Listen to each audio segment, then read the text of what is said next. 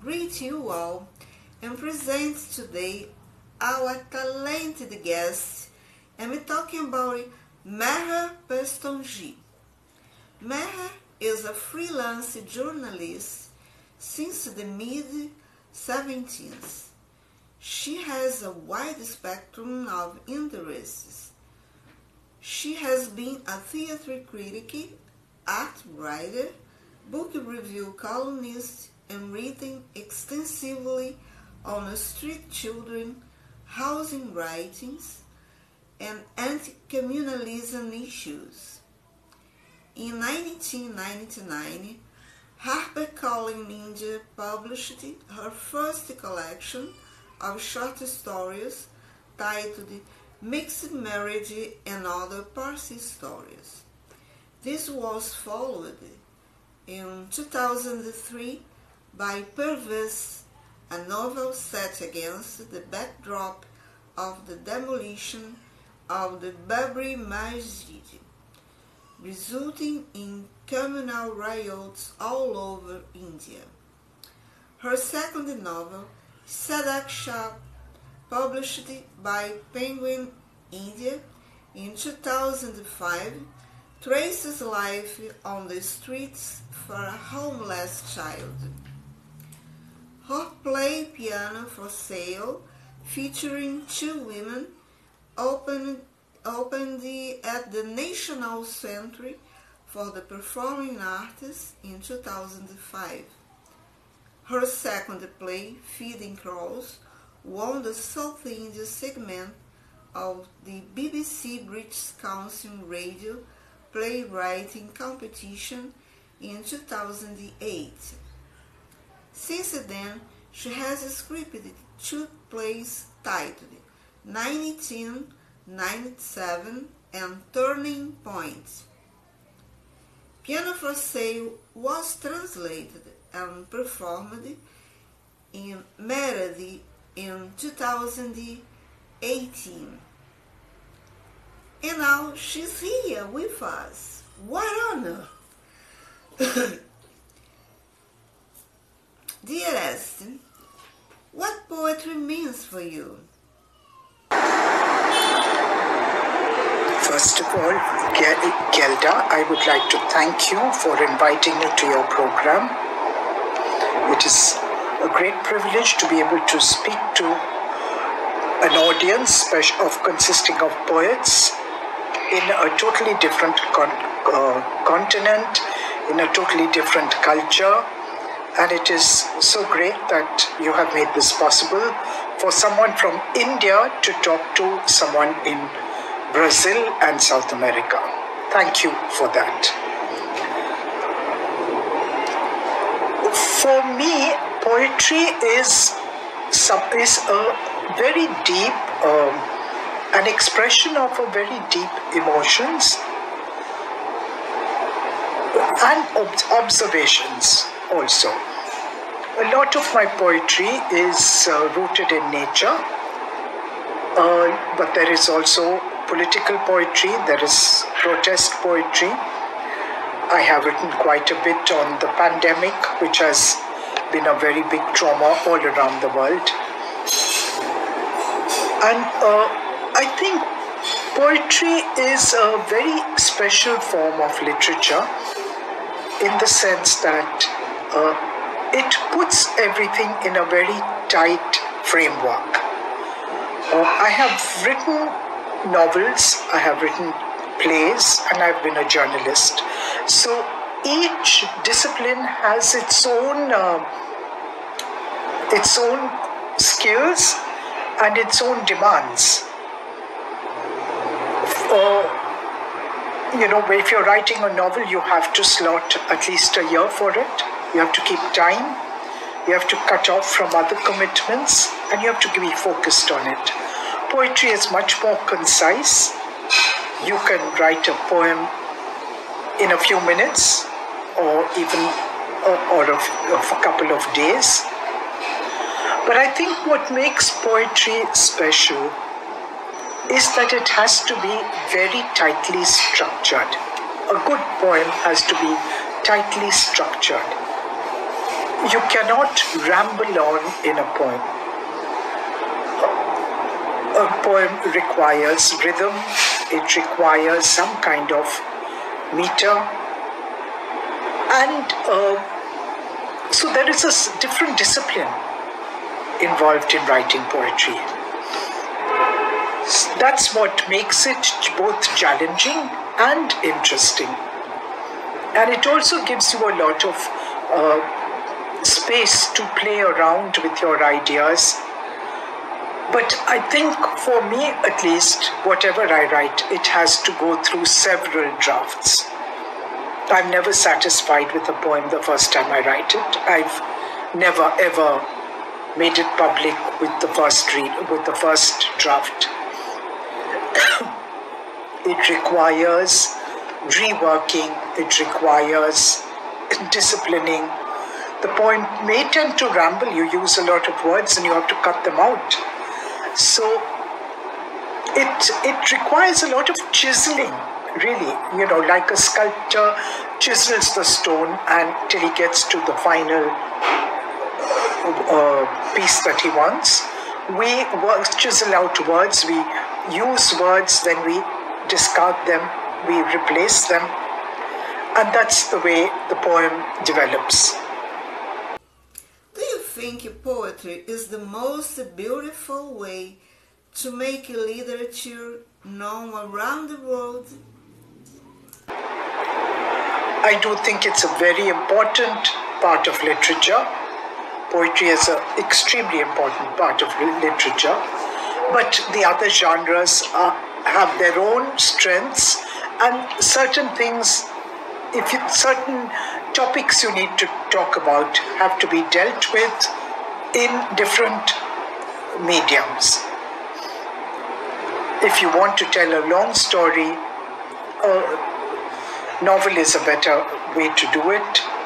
If you want to tell something dramatic, or if you want to make uh, contrasting viewpoints visible, then you do it through drama there are there are many ways of doing things. You have to select your medium, and poetry is one of the mediums in literature.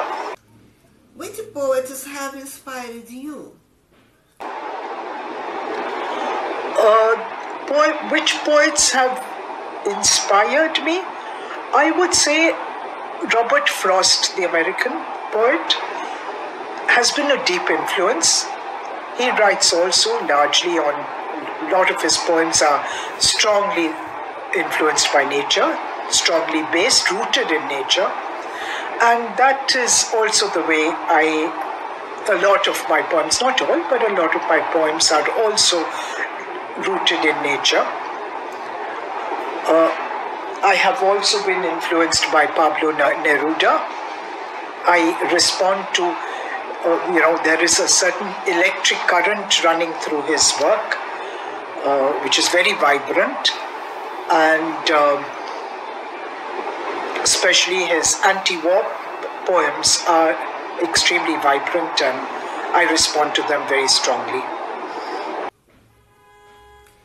Do you believe that poetry can adapt anything into it? And why? Uh, I think uh, most topics can be absorbed in poetry.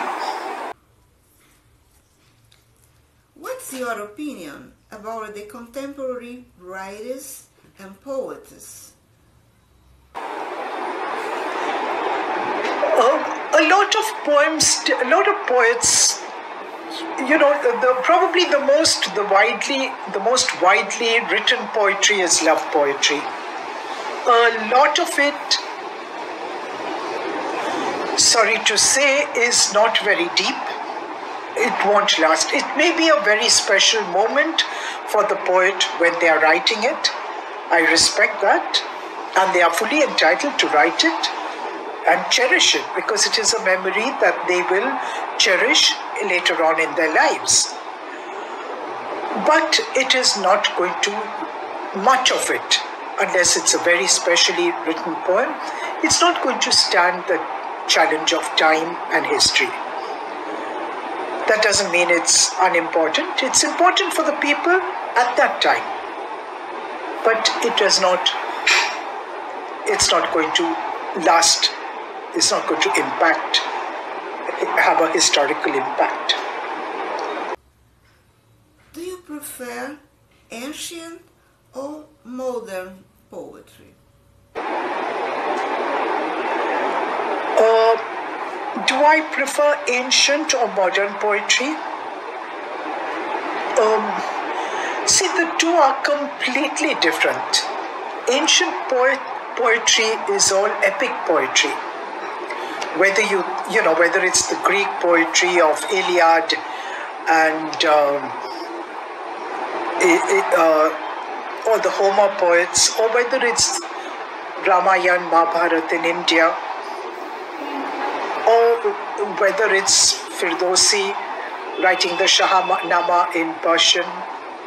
These are all long poems. They are epics. They are classics. Uh, and they tell stories. They all some of the some of it may be historical, some of it may be mythical. They may be mythology. Mythology is woven into them they are very different to what is happening today. Uh, nobody is writing that kind of poetry as far as I know. Today, uh, I think the, it has to reflect, poetry has to reflect the society we are in, and our society is very different. We have to accept that, recognize it. And today's the poetry that's coming out is much more succinct, it's not written over uh, you know like not not too many poems are written over years and generations. But that does that's it's got its own strengths. In its tautness it's got its own strength in what is being said and what is being reflected. And um, that's so it's very different from classical poetry. It may these are the po- poems. Some of the poems written today will be contemporary classics, but uh, they are you cannot really compare them to the old ones. With the advent of several digital platforms offering e-books for online reading, do you think that interest in a physical book has decreased? I think uh, the digital, what has happened, especially after the pandemic has set in, poetry has become universally uh, universal. Poets have connected across continents, across the world, and they have found voices. They are hearing people across the world. Uh, I don't think before this I had I knew anything about poetry in Brazil or in Romania or in Greece. I mean contemporary poetry in any of these places. Or even just a little bit maybe in UK or US, but certainly not in many other cultures. And this platform has made uh, opened it up to everyone and it has been a huge learning experience, and it continues being that. Uh, and also, new people are coming into the field. I'll give you an example. The Welsh poet Rebecca Lowe, she introduced us to a new genre of poetry. Um, I'm forgetting what it was called, but I think uh, anyway, it's rooted in a Japanese form where you use one word in the first line, so two words in the second, three in the third, and four in the fourth, and five in the fifth, and then reverse the order in the next stanza. Now, uh, after that, I, I wrote about it, and after that, uh, someone who has never written poetry before uh, has started writing poetry about her life. And her life is quite amazing because she is the mother of quadruplets, four children. And two of her quadruplets are autistic and she has brought them up very well. And her poetry, she has never written poetry before. So, this is what the international connection is doing pushing people who have never written poetry into starting to write poetry. And that's a great thing. And I don't think uh, uh, this would have happened without internet. It, I mean, obviously, it would never have happened without internet. Uh, e-books and is the online section is it going to do away with books or is it going to supersede books? I would like to not think so. Because for me books are very special. There is something about holding your book in your hand or holding any book in your hand. The touch, the tactile, the feel of paper, the feel of the, the fragrance that comes out with a new book. All that is uh, something that can never be replicated online. And uh, that has a charm of its own. I don't think, and I think people will still want that. Whatever they do online, they will still want that. I have not published a poetry book. I've published novels, but I have not published a poetry book. And that is also because there is a certain there's a certain pleasure in writing. Why does one write poetry? One does not write poetry to make money because poetry does not pay. Whether you do it online or whether you do it offline, in fact, many poets are self published, so they are spending their own money to get their work in print. So there is, they're doing it because of pleasure. There are very few things in this world done today just for pleasure, and po- writing poetry is one of them.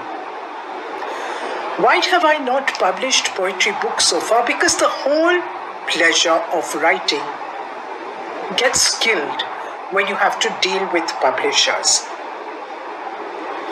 in i mean i have sent books to publishers and not even acknowledged not even neither an accept or forget accept not even a reject they don't even have the courtesy to send a reject slip so i've stopped sending them yes i have considered the route of self publication but there is having been a journalist i know that self published books are seen as vanity press and are not taken too seriously by reviewers.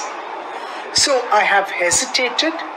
I don't know whether if that will change, but uh, certainly approaching publishers and dealing with them is uh, has been very painful. So I've just stopped sending stuff out.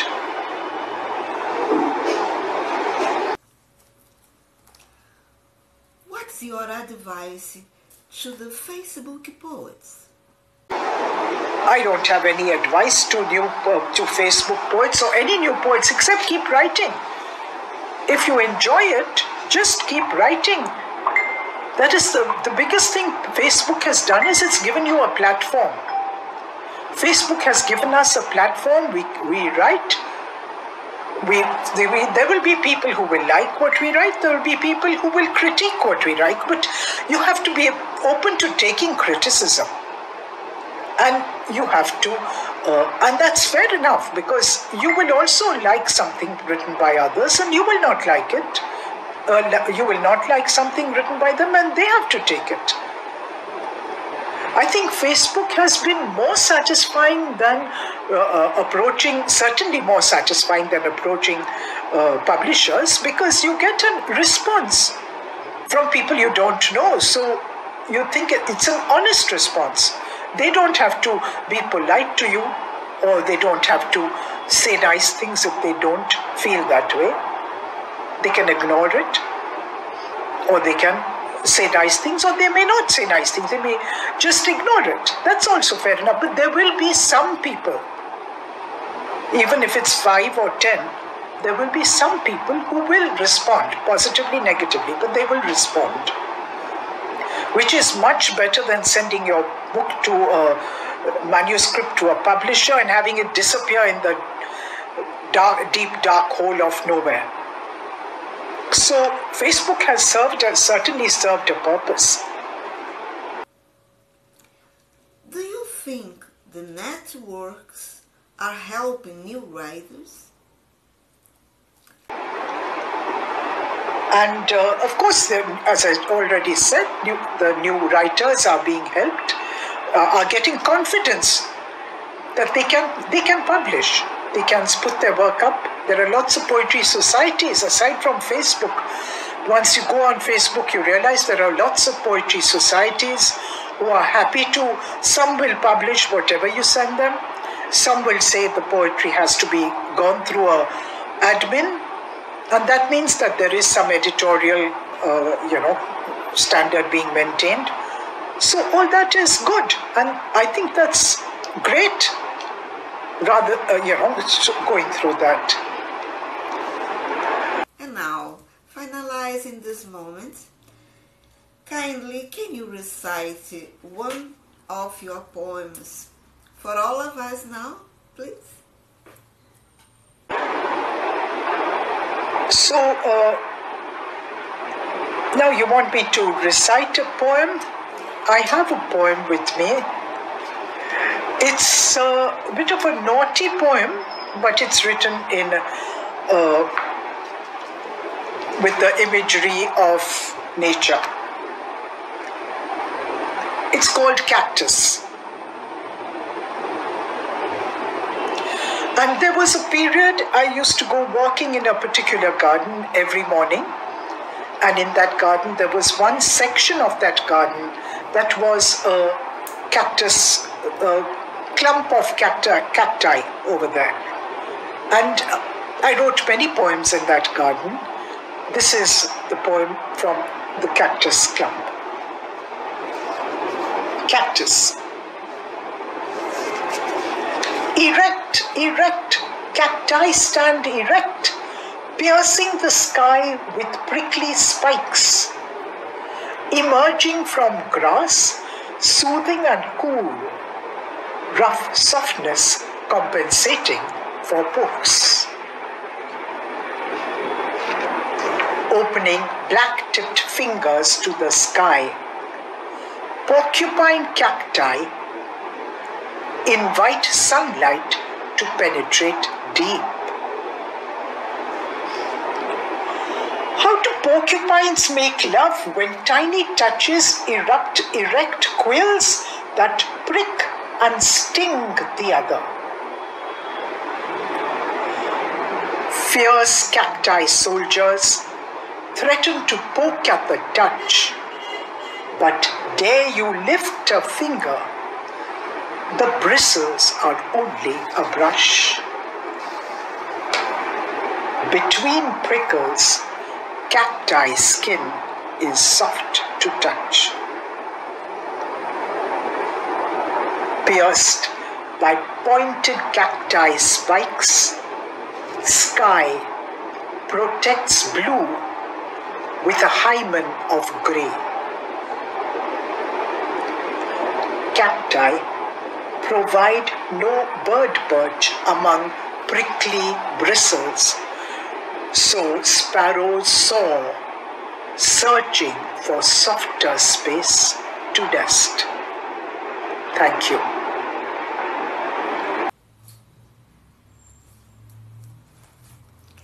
Oh, wow! It was a great pleasure to meet you today, dearest. Hope you have enjoyed it too. And you guys, you know, we have a date in the next Sunday, okay? Stay well, stay safe. Blessings to all you.